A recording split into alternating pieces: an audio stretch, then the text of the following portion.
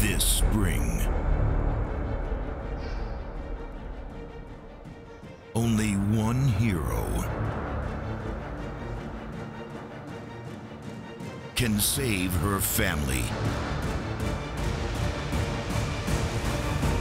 and prevent disaster. Mom, we're gonna be late for school! I don't think so. Whoa.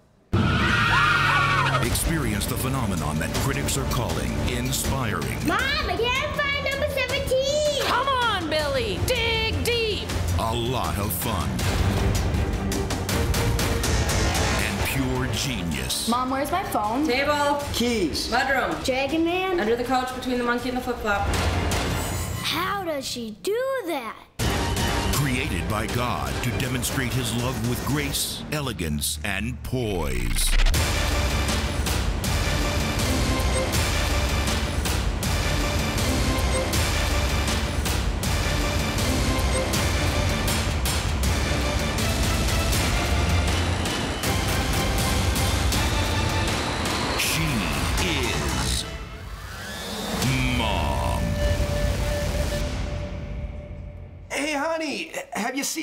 butane torch?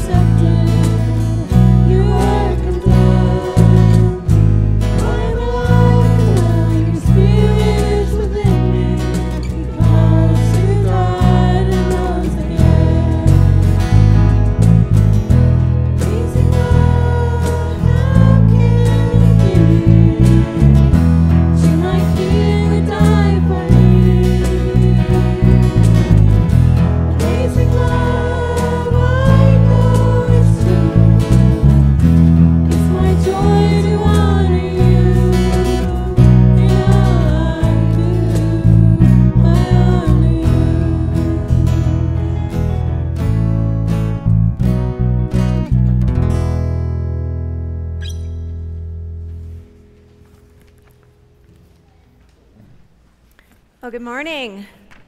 Welcome to worship this morning and happy Mother's Day to all of you who are celebrating this.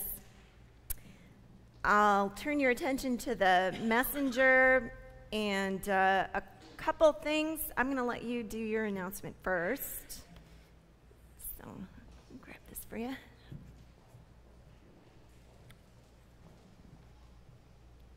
Thank you. Hi, I'm Colleen Prosser, and I just wanted to give everybody an update on the Safe to Sleep Transition House. Uh, the renters have moved out about a week and a half ago, and we've started the repairs. If there's anybody that's interested in looking at the house, it's open today. I opened it up this morning. It'll be open until about 1 o'clock this afternoon. Go over, take a look. It's a great house. It'll, it'll be a great project for the whole church to help these women. And if you have any talent and would like to help out, we sure could use some people to help repair things. There's lists of what needs to be done over there. If you want to jot your name down next to one, we'd appreciate it. Thanks. Other announcements from community? I have one Okay. sneaking up. Um, tomorrow evening at 5 o'clock, um, it is listed as 5 to 6 o'clock. Meeting over here is a planning meeting for VBS. VBS is Yes. middle end of June. I think it's in there. It's the 17th, I feel like. But I think that's um, we're right. going to plan it. We need more volunteers, youth volunteers, and adult volunteers as well to track down all these kiddos and get them pointing in the right direction. Thanks. Yep, so that's 5 o'clock tomorrow. Yes. And then also, um, next week, the 20th, during 11 o'clock worship, we'll have confirmation service. So we'll be celebrating our confirmants. The week after that, we begin our summer Sunday schedule. So Saturday nights will continue being 5:30, no change there. But Sunday mornings, we'll have one service at 9:30 on odd Sundays. So first Sunday, third, third Sunday, and fifth Sunday will be the classic style, which is what you'd be familiar with at the 8:30 service. And then second and fourth Sunday will be the uh, blended style worship, which is what we have here at 11 o'clock. Um, the 27th is the only exception. It's a fourth Sunday, but we're doing the classic style on that Sunday. So, um, so classic is the 8:30 style of worship, and blended is the 11 o'clock style worship. Classic is first, third, fifth Sunday. Blended is second and fourth Sunday. I invite you to please come to all those worship services. Um, but for the summer, we'll be trying this one worship service time um, and bringing everyone together for one worship in the summer. So we'll see how that works and, and trying it out. You know, we haven't done this, so be something new. Um, that is probably our biggest announcement for what's coming up. The rest you can pick up in the bulletin here. So, uh, this morning we are going to be having anniversary of baptism as well. So let us begin with our opening song, and then we'll continue with the anniversary of baptism. Please stand.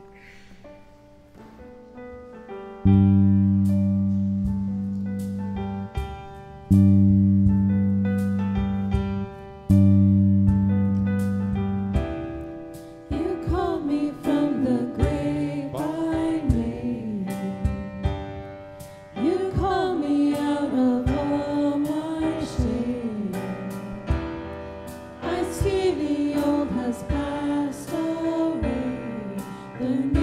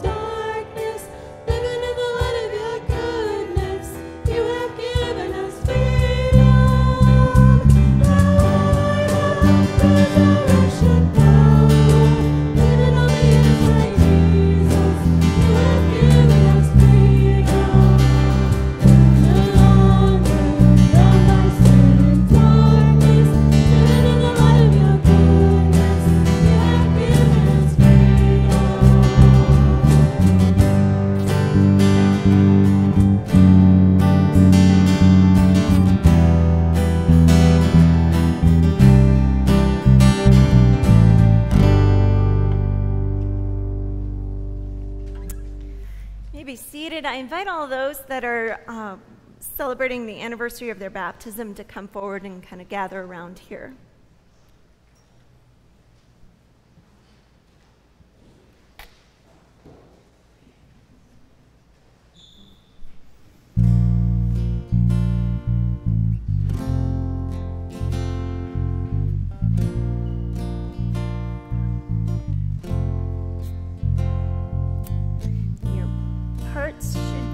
Up on the screens.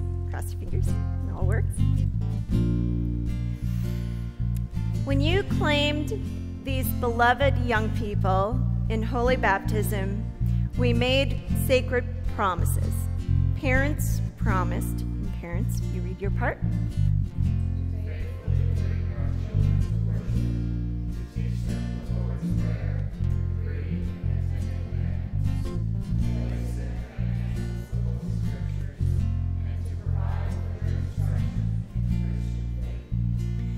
Sponsors or godparents in this congregation promised to nurture them in Christian faith and to support them and pray for them in their new life in Christ.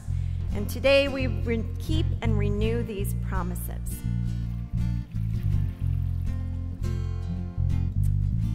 So I invite parents, um, you may dip a, a hand finger in the baptismal font, and then uh, you'll make the sign of the cross on your child's body during the following litany.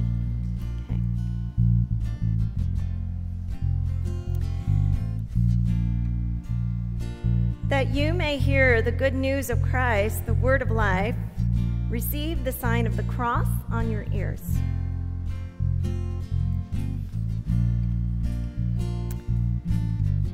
That you may see the light of Christ illuminating your way. Receive the sign of the cross on your eyes. That you may sing the praise of Christ, the joy of the church. Receive the sign of the cross on your lips.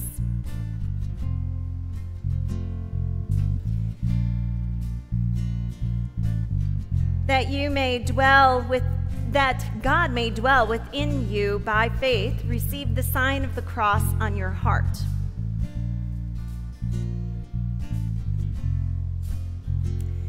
That you may bear the gentle yoke of Christ in serving, receive the sign of the cross on your shoulders. That God's mercy may be known in your works, receive the sign of the cross on your hands. That you may follow the way of Christ. Receive the sign of the cross on your feet.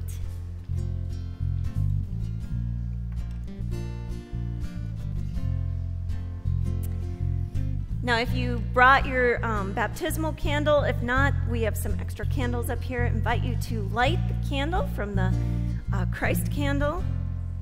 When you were baptized, these light candles were lit and these words were said, Jesus said, I am the light of the world. Whoever follows me will have the light of life. And that we are to go and let our lights shine. And these candles are a reminder of that.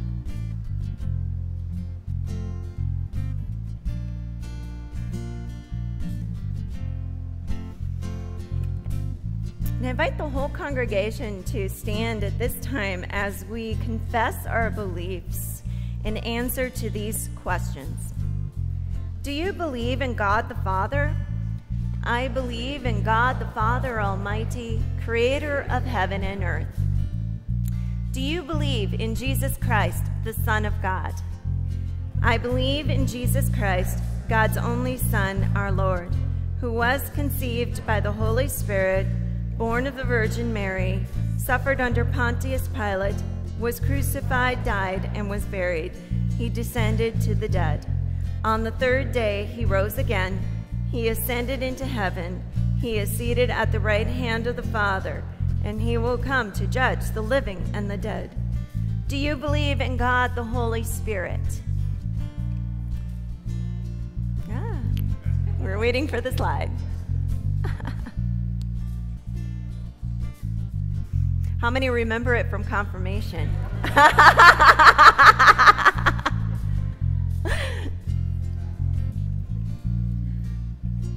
Ooh, we're having an issue here.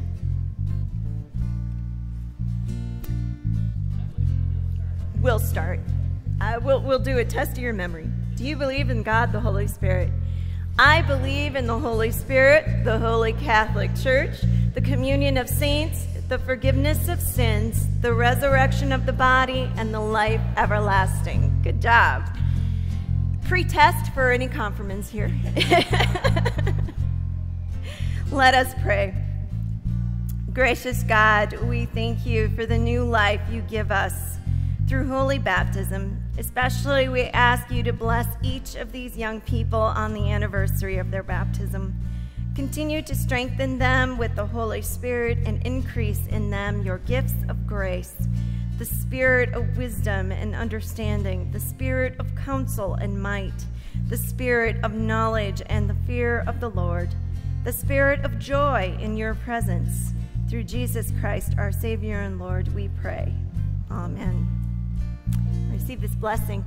Gracious and glorious God, you have chosen us as your own, and by the powerful name of Jesus, you protect us from evil. By your Spirit, transform us in your beloved world, that we may find our joy in your Son, Jesus Christ, who is our Savior and Lord, who lives and reigns with you and the Holy Spirit, one God, now and forever. Amen. You may be seated. Thank you. You can blow out your candles. song.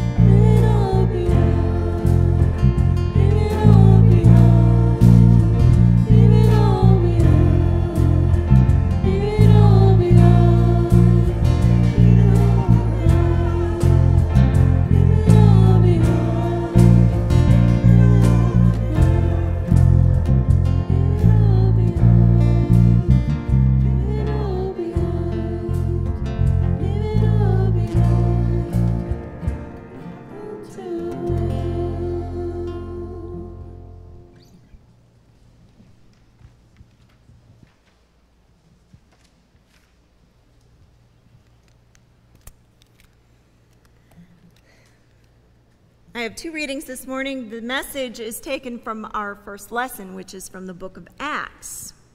Acts 1 15 through 17, 21 through 26. In those days, Peter stood up among the believers. Together, the crowd numbered about 120 persons and said, Friends, the scripture had to be fulfilled, which the Holy Spirit, through David, foretold concerning Judas, who became a guide for those who arrested Jesus. For he was numbered among us and was allotted his share in this ministry. So one of the men who, who have accompanied us during all of the time that the Lord Jesus went in and out among us, beginning from the baptism of John until the day in which he was taken up from us, one of these must become a witness with us to the resurrection. So they proposed two Joseph, called Barsabbas, who is also known as Justus, and Matthias. Then they prayed and said, Lord, you know everyone's heart.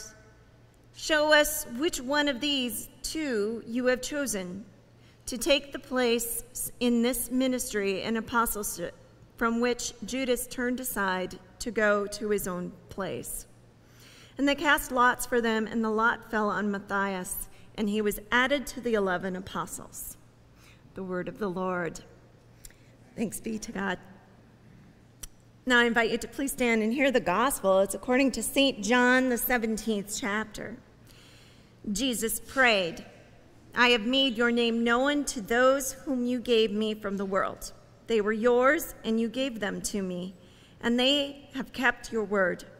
Now they know that everything you have given me is from you, for the words that you gave to me I have given to them, and they have received them, and know in truth that I came from you, and they have believed that you sent me. I am asking on their behalf. I am not asking on the behalf of the world, but on behalf of those whom you gave me, because they are yours. All mine are yours, and yours are mine, and I have been glorified in them. And now I am no longer in the world, but they are in the world, and I am coming to you. Holy Father, protect them in your name that you have given me, so that they may be one as we are one. While I was with them, I protected them in your name that you have given me. I guarded them, and not one of them was lost except the one destined to be lost, so that the scripture might be fulfilled. But now I am coming to you, and I speak these things in the world, so that they may have my joy made complete in them. I have given them your word, and the world has hated them because they do not belong to the world, just as I do not belong to the world. I am not asking you to take them out of the world, but I ask you to protect them from the evil one. They do not belong to the world as I just as I do not belong to the world.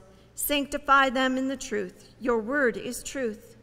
As you have sent me into the world, so I have sent them into the world. And for their sakes I sanctify myself, so that they also may be sanctified in truth. Gospel of the Lord.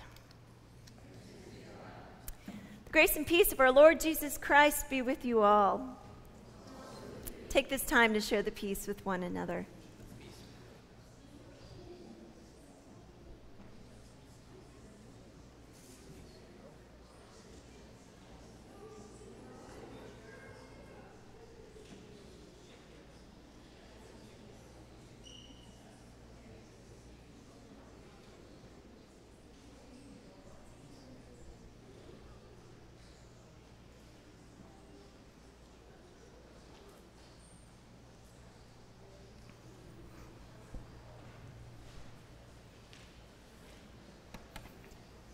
I invite the kids to come forward. We'll have a children's message.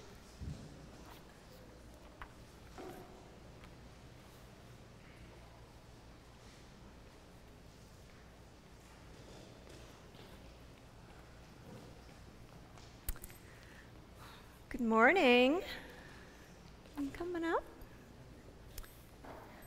Well, this morning I'm going to say some things that are in kind of an order, and um, you'll hear them and finish the order of what I'm saying. I think you'll get it when I start. Okay? So, one, two, three, what's next? Four. Right. Okay. Here's another one. A, B, C, D, E. All right. Here's another one. Thursday, Friday, Saturday, Sunday. Okay. There's a fancy word for what that is when things have a certain order that you, you know what comes after it. It's called a sequence. Okay? So that's the word when um, the next thing that uh, you, you say one thing and the next thing is in order and you, and you know what that sequence is. There's lots and lots of sequences in the world. Um, in the scripture we heard today, Jesus prayed in a sequence, okay, in a certain order. And, and the order goes like this First step was God gives words to Jesus, and the second was Jesus gives those words to his disciples, and the third was the disciples gave that word to everyone else. And the disciples did a pretty good job of that uh, third step because it's like 2,000 years later and we're still talking about it. So the disciples told their disciples, who told their disciples, who told other people, who told other people, who told other people, and eventually your parents heard it, and then they told you, and the community here at Messiah are other people that are telling you this story as well. And so you, this is how Jesus' prayer went. And so it went God, to Jesus, to the disciples, to, yeah, to us. Yeah, to me, to you, to us. Right? Okay, so that is the cool, good news is that um, we can tell those stories then to someone else. And we're just part of that whole prayer that Jesus had.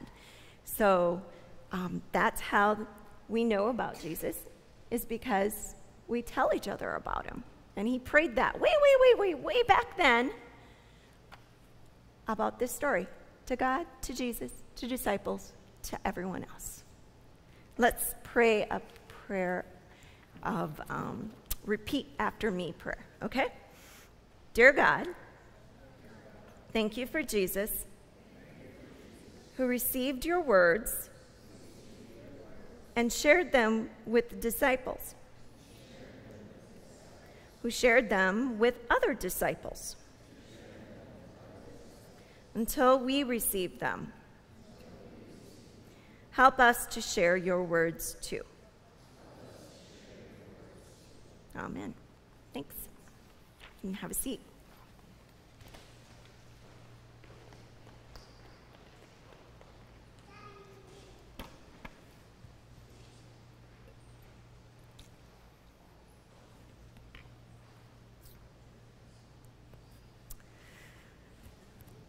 So, as I shared, the text this morning that I'm uh, going to share a message on is the Acts 1 text.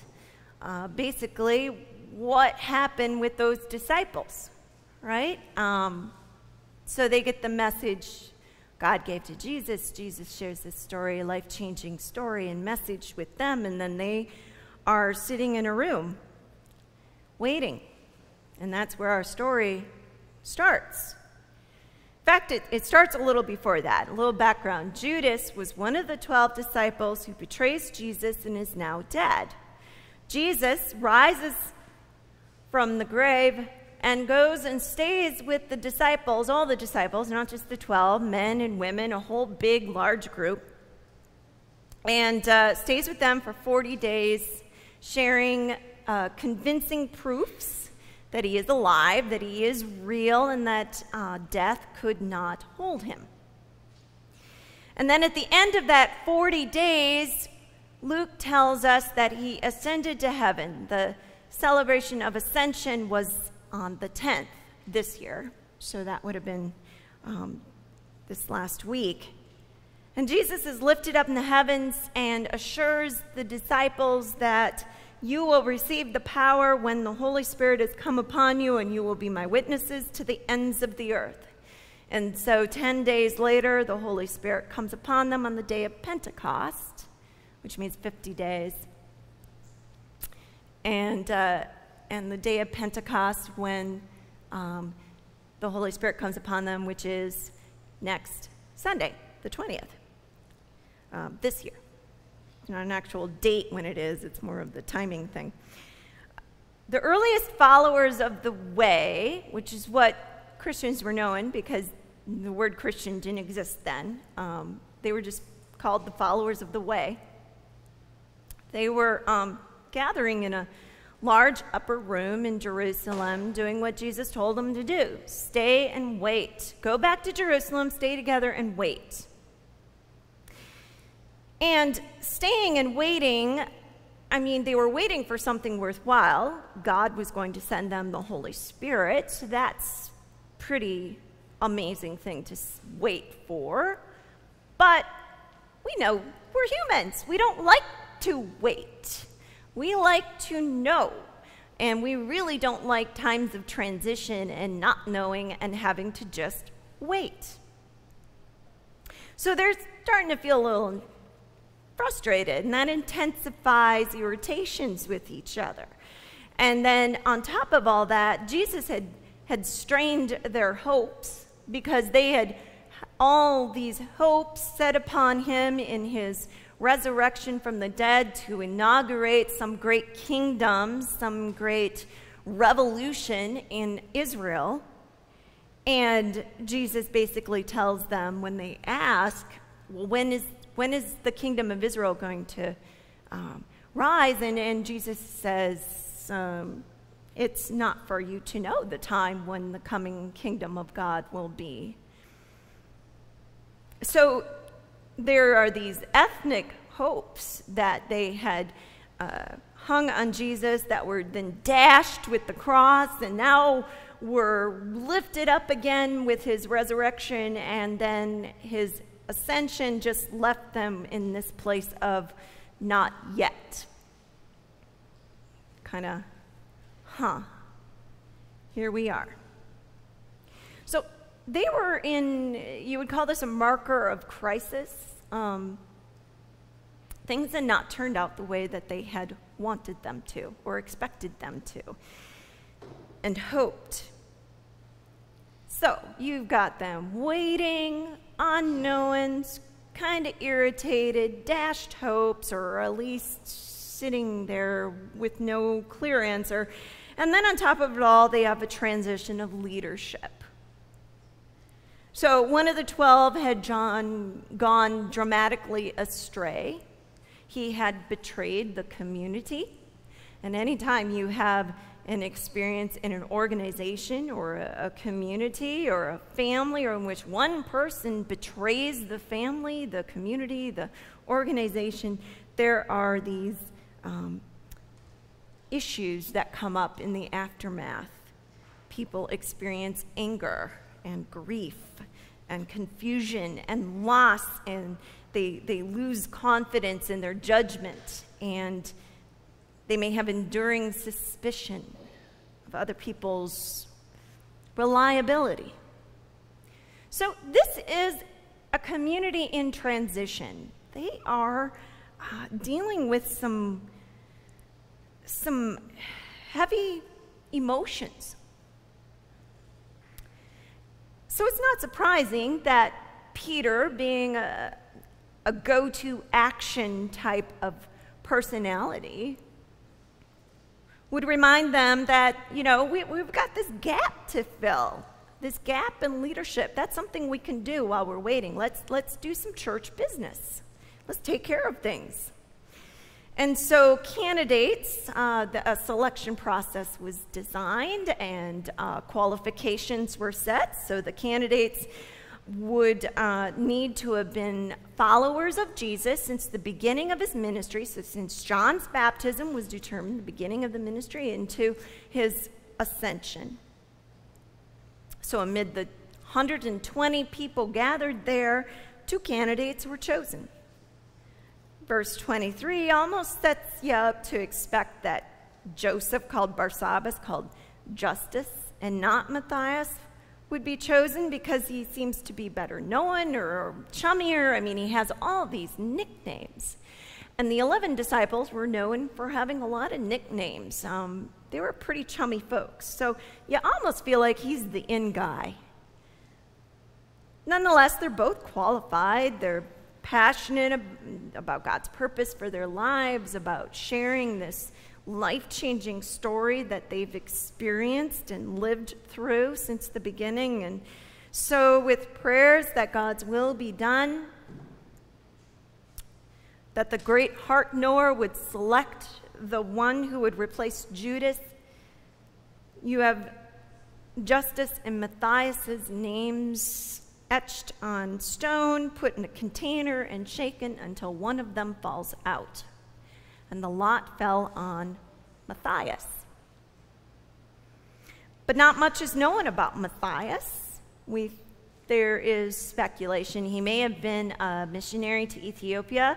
Uh, he may have been a witness in Jerusalem a quiet one because we, we never hear another word about Matthias.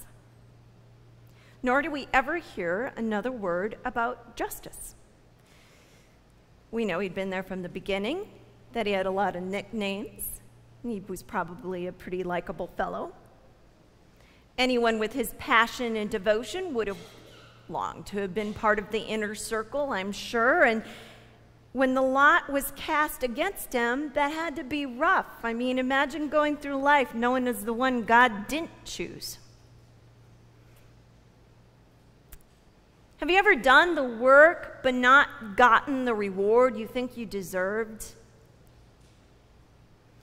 Or just some randomness that costs you, like your company lays off five people and you're one of the five, and there really isn't any reason, there isn't any fault or anything like that. It just somebody had to go. Or you interview for a job and you make it up to the top two and you're not the one chosen. And after all that preparation and your high hopes and, and you're counting on this and you work so hard, and then you, you don't get it, and there's this disappointment that's just heartbreaking at the time. And I think that Justus probably had a response of disappointment like that because, you know, look at his name, Justus. Just us. He's just like us. All of us. When we've thought we've been on the right path or, or truly doing what needs to be done and, and, and uh, setting goals that are the goals we need to set, and then everything changes and the direction changes, and, and you're left there wondering, well, what's up with that? I mean, it seems so certain, and then it wasn't. Justus could have felt dis well, he definitely felt disappointment, but he could have felt hurt. He could have felt cynical. He could have become cynical or critical. Um, he could have let his pride hold him back from living out his passion to witness and minister. But we never hear another word about Justus. And Luke liked to write about the disciples' flaws. And so, because I, there is no mention of Justus, I think he probably did the right thing. I think he didn't behave badly. I think that he probably just gave Matthias a big hug and said, I'll support you in every way, brother. Maybe he was a partner with him in evangelism. Who knows? I think Justus knew that he was uh, who he was and what God wanted him to do, or placed in his heart to do, at least and that was with or without a title, that Justus would go on sharing this witness of a life changing story he'd experienced in Jesus. Thought about that idea of like knowing your heart's desire, uh, making decisions to act upon your heart's desire when I happened to watch American Idol this last week, they did the whole thing on Prince, and I love Prince. I'm from Minnesota, you know, gotta got to get my Prince fix. And uh, so they, I was watching, I was thinking about how in, in these talent shows and like Idol and, and, and many of the others, you'll have that audition period in which you have all these people who have just these heartbreaking, uh, they have such great hopes, but maybe they don't have the talent to go with their desire. But as the season goes on and the selected competitors become smaller and smaller, you know towards the end that whether they get third place, fifth place, first place, it doesn't matter if they get the title or not. All of these people have a self knowledge of who they are, which is a musician and an entertainer. And somehow they're going to live that out. Discerning our path in life is not always so clear. We use the best decision making process that we know when we're trying to discern our life's path and why we are here and answer to those existential questions. But oftentimes, it isn't until we're looking back in retrospect that we see where God's work was working through those matters, when not getting that job was the best thing that could have happened for us, even though it was so deeply disappointing and heartbreaking at the time. In Acts 1 24, the disciples pray, You, Lord, who know the hearts of all. Cardiognostos is the Greek word, it means heart knower. And they're praying that, that God is the great heart knower and will reveal God's will to their hearts. And we all want to know God's will for us. What's our purpose? Now, I, I, I, really wanted to share some golden answer and, and you know, step-by-step plan and how to do that, but God, the Bible just isn't that way. it really doesn't give you those kind of answers. An insight I got on how do you discern God's will? How do I know the heart knower is speaking to my heart? Um, was from Professor Richard Jensen. He gave three criteria uh, of knowing in his commentary on the story of Acts, this story of Acts. He said, first, we know that we are called to love God and to love our neighbor. And so when we're faced with a choice about our, our purpose or what's God's will, ask yourself, how is this loving God? And how is this loving my neighbor? in, in that decision. How is this loving God and how is this loving my neighbor? Second, we know that we live our lives under the canopy of God's forgiving love. So the thing is, is we can pray and pray for God's will to be revealed, preferably in specifics, and it may not be revealed, or it may not be revealed in the timing we want, or it may not be revealed in the specifics that we wish we could get. And so sometimes we kind of stumble along. We cast lots. We hope that we are living lives that please God. Martin Luther advised about this that we will have to choose boldly our path, that we just have to choose boldly our path. And we don't often know for certain which is the right path. We choose, knowing that God's forgiving love will sustain us in the midst of our lives' many decisions. The third point is that we know that nothing can separate us from the love of God, and that our bad decisions cannot separate us from the love of God. That God is always working to make the best out of our decisions because of we know this because of Jesus' mission statement I come that they may have life and that they may have life everlasting. We have a God of life, a creator God. So the action and the power and the direction of God is always going to be for life. So when we make those decisions that maybe weren't life giving,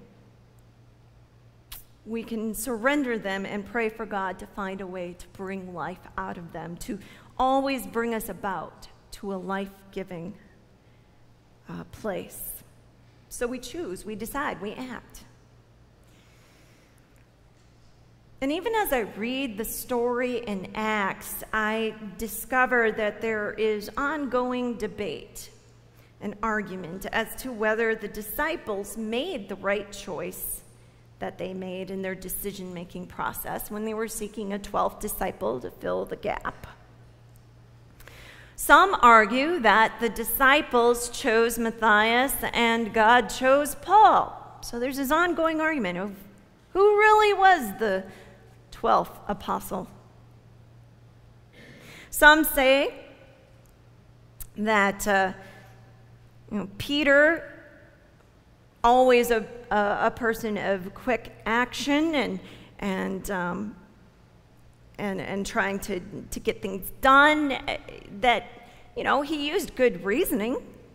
Uh, the scriptures spoke of the drama of Judas's actions, that they were part of a, a God's um, design and a replacement must be needed. And, and Peter just thought, well, that must be something we need to do immediately. But prior to the arrival of the Holy Spirit, the community was very inward focused. They were circling their wagons. They were in this, as I explained earlier, in this kind of state of anxiety and, and uh, trial and high emotions. They were radically keeping to their own. But when the Spirit came upon them, they saw that Jesus had a much bigger vision than they had. That God was concerned with the restoration of all of creation and not just Israel. And that changed some things. So even though Matthias was chosen by the disciples, through the casting of lots. Maybe the Spirit elected Paul to carry out the apostolic mantle that Judas left vacant. We don't know. The criteria established by Peter, seconded by the apostolic consent of that group, namely to replace Judas, and that that replacement ought to be a witness of the entire ministry of Jesus from the beginning. It may not have been seconded by the Holy Spirit, who saw that there was a need for someone very different. And maybe that's why we never hear about Matthias, is because he was no Paul. The disciples did the best they could to discern God's will. And that's all we do and can do. We choose, we decide, we act, we trust. And the God of life works life giving power through those decisions. Choosing boldly your path, knowing that God's forgiving love will sustain you in the midst of your messy lives and your many decisions. That's an assurance we do have. And whether Matthias was the chosen 12th or Paul, it doesn't really matter because they all shared that story and they shared it to the next generation and the next generation. And here we are sharing it again. And that is what matters. For nothing can separate us from the love of God, which is at work in the midst of all of our decisions. Amen.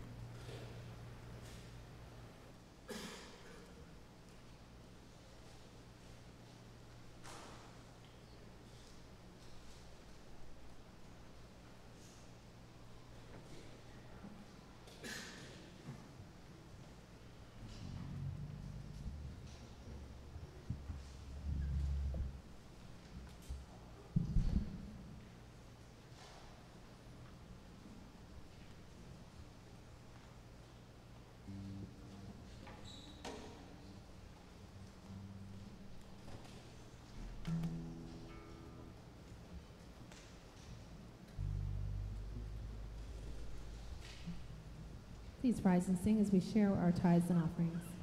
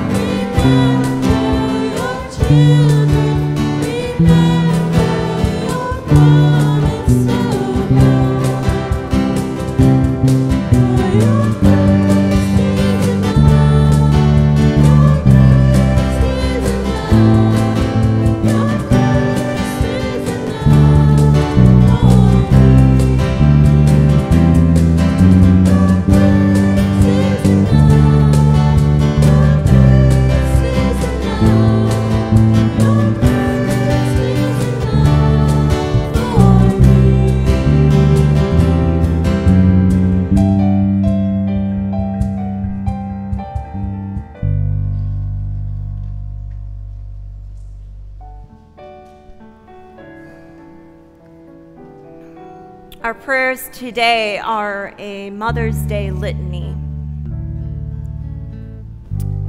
And I think we have a song first.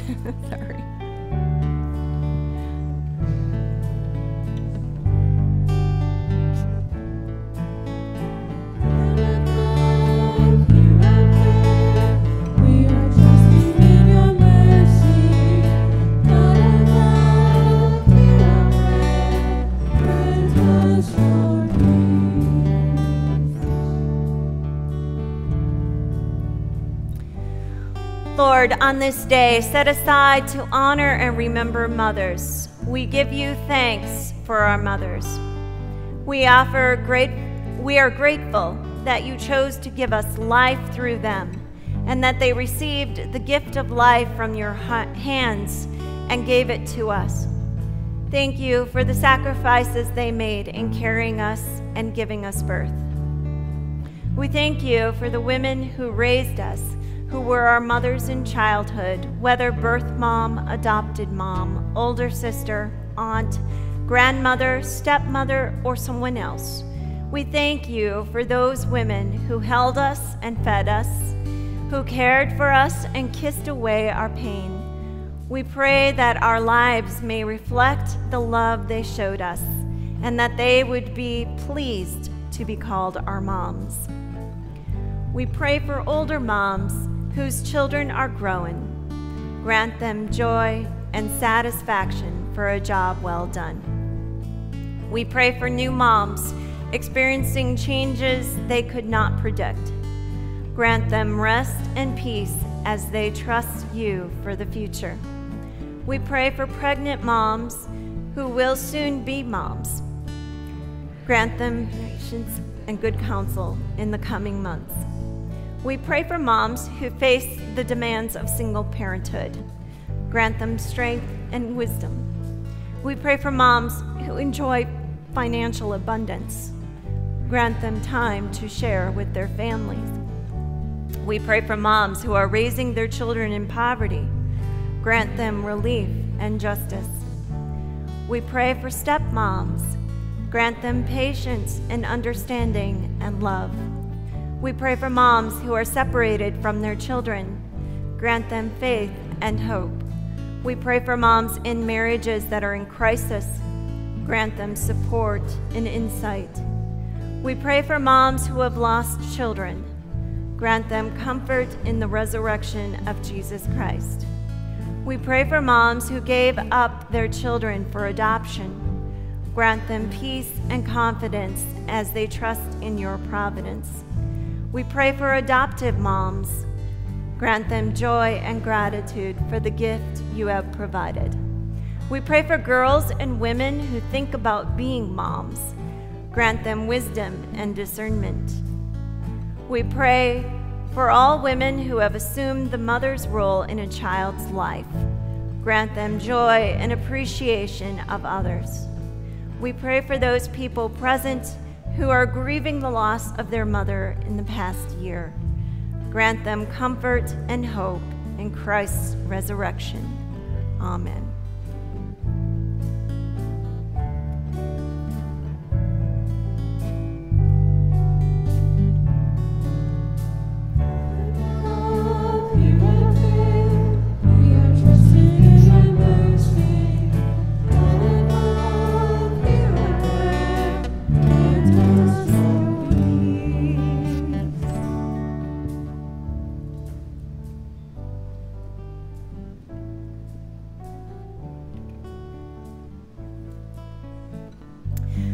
Be with you.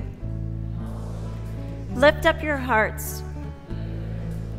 Let us give thanks to the Lord our God.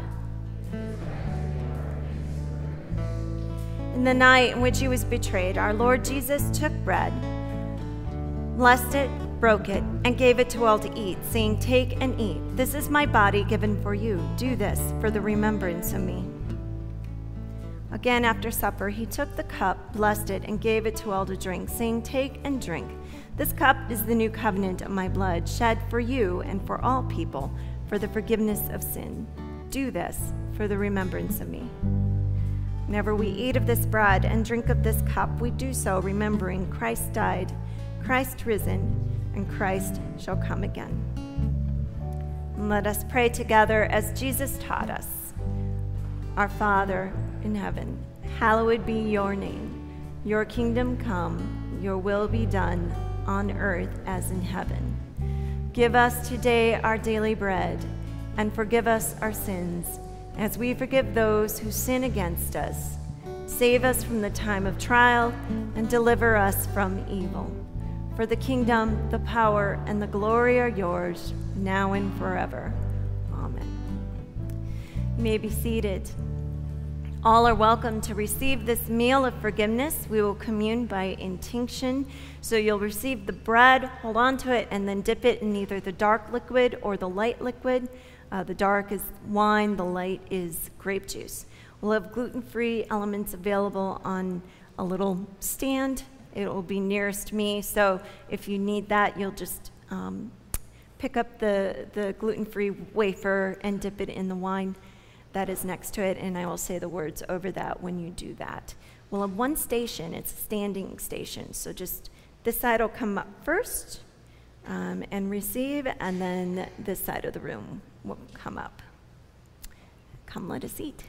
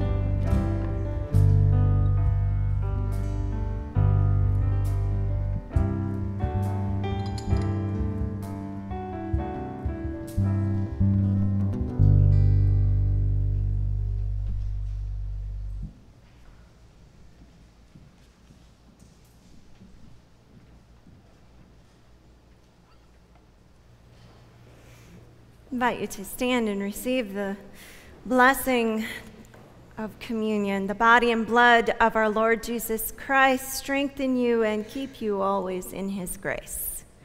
Amen.